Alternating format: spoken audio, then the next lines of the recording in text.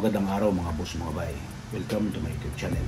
Isa naman pong uh, hard at uh, magandang three move chess puzzle ang share ko sa inyo ngayon at uh, lalaroin natin para malaman natin ang mga solusyon ng palisipan na ito. Pero kung gusto nyo isolve agad, uh, post nyo lang po ang video uh, kung sakaling hindi nyo pa rin ito masolve samahan nyo ako sa aking tutorial at ipapakita ko sa inyo ang mga sikretong move kung paano mamati ang block.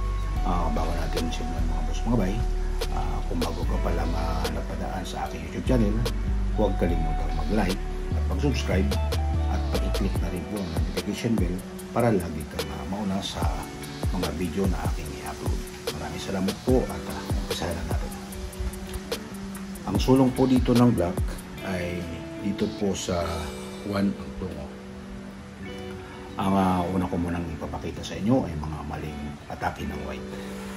So, halimbawa, uh, pag uh, dito nag-check ang uh, queen sa g6, so iwas lang ang king sa d7. Uh, pag uh, nag-check naman dito ang queen sa sa d6, so iwas lang sa c8 pag nag-check naman ang uh, horse dito sa b6 iwas lang ang king dito sa b7 so wala pong matian so natin. Pag ang uh, queen naman ay nag-check dito sa sa e5 so iwas pa rin yan. Pag siya naman uli ay nag-check dito sa sa d6 so pwede lang siyang mag uh, uli check dito ng horse iwas pa rin. So walang mate. Kung, kung dito naman iiwas ang uh, ang king sa e8 so wala nang ibang pang turn move dyan. Ang white pag siya nag check dito kakainin na siya ng pawn so, turn move na yun. Walang, walang, walang mate. So pag dito naman siya nag check iiwas na. Wala walang walang uh, pangmati yan turbo white. Sorry natin pagka dito naman siya nag-check so pwede lang uh, umiwas yan ang uh, ang uh, dito. Ang, ang king ang king dito sa sa d5 so ano naman kanya ang second move? Pagka nag-check siya dito pwede nilang kainin itong horse third move. Uh, wala, wala siyang pang move dyan. Wala na siyang pang ano pa. Ito, wala na. Nag-check siya dito, kainin. Uh, dito naman, pagka nag-check siya dito, kainin lang. So, ano, rook. So, so walang mate. Pagka, pagka ang move naman dito ng, uh, ng, uh, ng white ay dito kinain ang phone so dyan so isa na lang ang tatakbuhan dyan ng ano ng black ito na lang sa sa F5 so ano ngayon ang posibleng move naman dyan ang ano ng, uh, ng, uh, ng white. Pag ang white may nag-check dito sa sa D6 so babalik lang dun ang uh, ano ang, uh, ang uh, king ang pan-turn move naman dyan ng white ay dito sa F7 check. So iwas lang. Wala pa rin mate kung sakali naman ang, uh, ang move naman dyan ng ng ano ng, ng queen ay dito sa G4 check.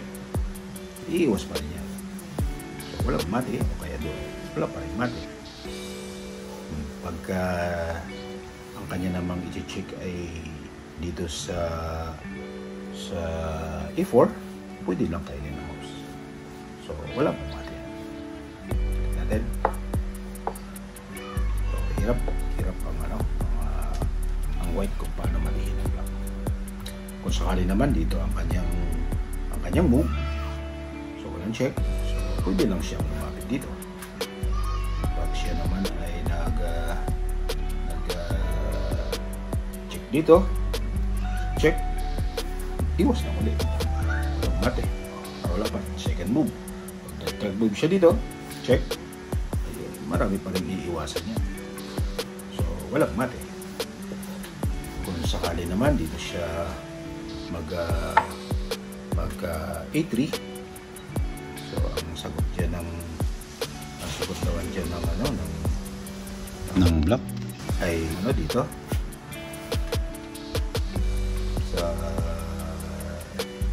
sa D5 dito siya check. So pwede lang kainin itong horse. So pagka pagka dito naman siya magmumove or check check. So tatago lang yan. Walang man eh pag dito naman siya check ganun pa rin. Tago pa rin yan. Pagka dito naman siya nag-check uli pwede lang bumalik. Or dito so wala pong mate so, balik natin. Uh, talagang hirap dito ang, uh, ang white kung paano talaga matihin ang black. So kung sakali naman ang uh, ang, ang horse naman ay dito sa sa B6 sagot naman dyan ng, uh, ng king ay dito lang siya sa sa F5 so ano ngayon ang kanyang pang second move pagka nag-check uh, siya dito iwas lang. So ano ngayon ang kanyang pang third move pagka uh, dito siya nag, nag uh, dito hindi na siya pwede.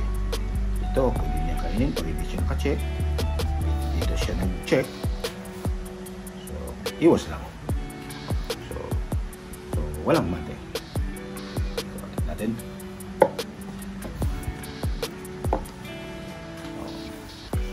Ginawa na po ng white ang mga posibleng uh, tira para mamati ang black pero hindi pa rin ito kaya matihin. Ano po kaya ang tamang move para matalo ang black? Post nyo lang po yung video para, para mapag-aralan niya pa po kung ano talaga ang tamang move kasunod po ang tutorial pagkalipas po ng klase ko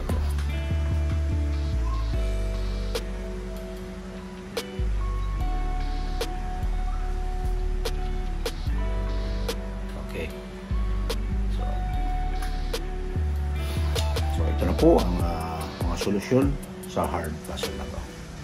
So, first move, ang rook ay nag uh, B3 lang. So, yan po ang first move ng white.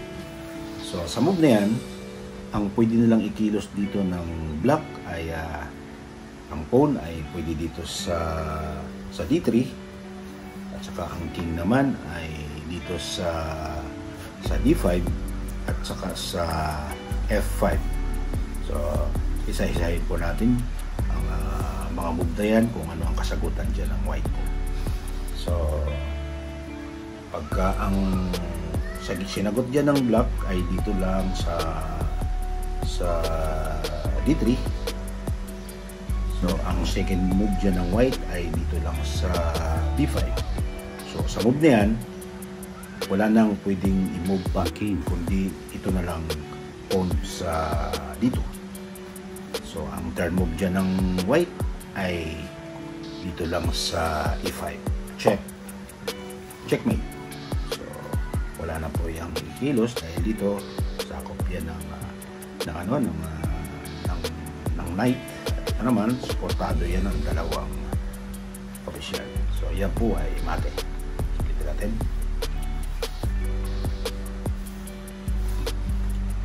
first move pag ang uh, king naman ay nag uh, d5 ang second move dyan ng white ay dito lang sa sa E5 check. So sa move na yan, mayroon dalawang uling pagpipilian ng black dito sa sa C6 at saka sa sa E4. Pag kinain niya itong uh, itong knight sa C4, ang third move dyan ng white ay dito lang sa sa B5. Check. Checkmate. So, hindi na siya pwede dito sa mga square na yan. Sakop yan ng rook at saka ng queen. So, yan po ay mali. Uh, pagka dito naman siya nag uh, nag uh, C6 dito lang uli ang kanyang third move sa sa D6 check. Checkmate. So hindi na siya makatawi dito dahil merong rook. So yan po ay mate. Ito natin.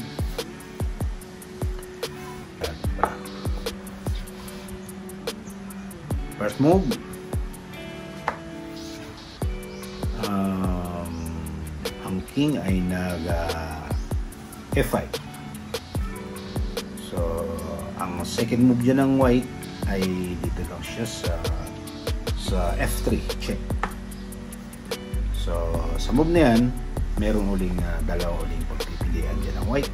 Pwede siya sa sa E6 at saka dito sa E4 so siya pag siya naman ay nag uh, nag E6 bumalik lang siya sa E6 so ang turn move dyan ng white ay dito lang sa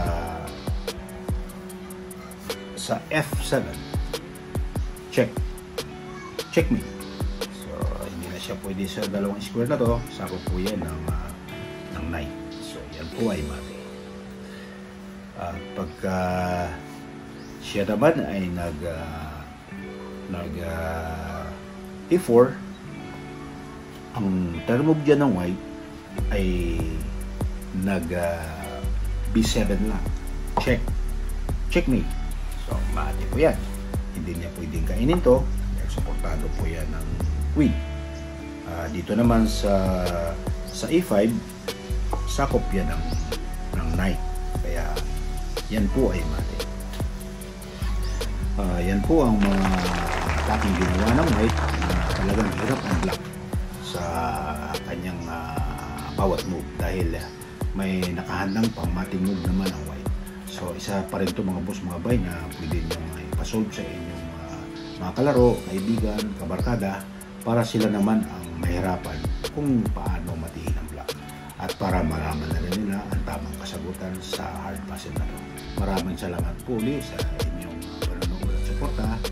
Uh, shout out po sa inyo lahat. Hanggang dito na lang. Maraming maraming salamat.